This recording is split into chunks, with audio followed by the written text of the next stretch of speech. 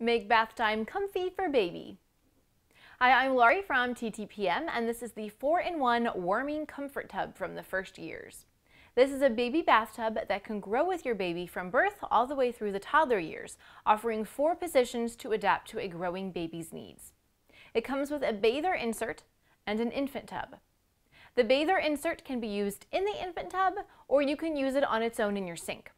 It has a padded headrest, a drain at the bottom, and a reservoir at the top that creates a water cascade feature that keeps a gentle stream of warm water flowing down your baby's body.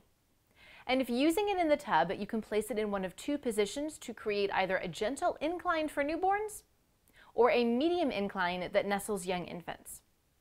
The tub on its own has an upright incline that supports wiggly older infants and plenty of space for toddlers to sit up and play as they bathe. Each recline position is conveniently labeled on the tub. To drain the tub, lift and rotate the plug to expose the drain hole.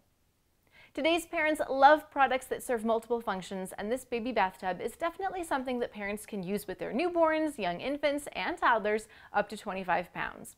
We like that it fits in most sinks to give parents that option, and that it has the water cascade feature to help keep baby warm during bath time. For where to buy and current prices, visit TTPM and subscribe to our YouTube channels for more reviews every day.